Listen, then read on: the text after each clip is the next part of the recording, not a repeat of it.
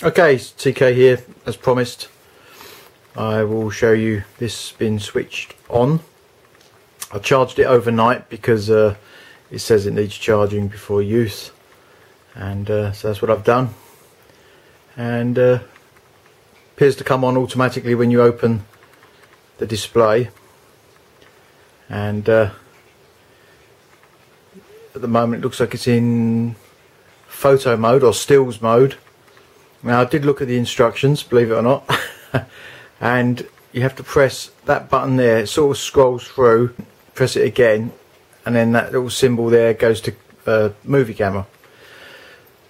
And then it's a case of just hitting that button. So press that, that little red light comes on as, thank you uh, dog, and there you go you can see it's just recording there. I've not set any focusing or anything like that.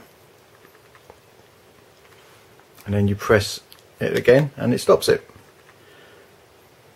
And likewise what you've also got I just press it again. Right we're now in um, obviously stills mode again. So if I if I try and take a photo let's take one of me hairy fingers. Got the focusing here. Now with a bit of practice you can do it one-handed. There we go. The picture quality is actually rather good. I will put up the actual video uh, after this. This is just, you're just seeing this through the, well, through another camera basically. So you do that, hit the button there where my thumb is.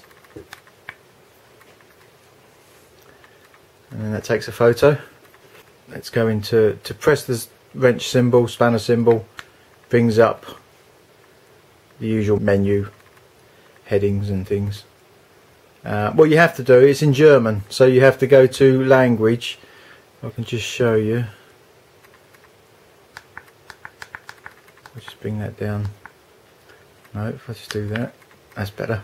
Right as you can see it's in language but when it's in German you have to there's a little symbol of someone speaking, if that makes sense. Uh, if I could just get my camera to focus, and then you just scroll through to you get to relevant language. So um, yeah, you just use the down arrow like that. It's pretty straightforward. And then to, if you want a particular, open it up, you press OK. So say you've got to TV out, press the OK button like that there we go. And then you just use the up and down arrow PAL NTSC uh, obviously in UK land we're in PAL you just press OK. And then to exit you just press the spanner symbol again. There we go. And again if you want to either use it in stills mode that's the, the image I took with the hairs. And then we're back in uh, film mode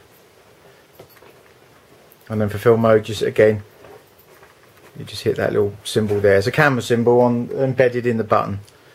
And uh, you just press it press it once it records. Press it again and it stops recording. Couldn't get really simpler than that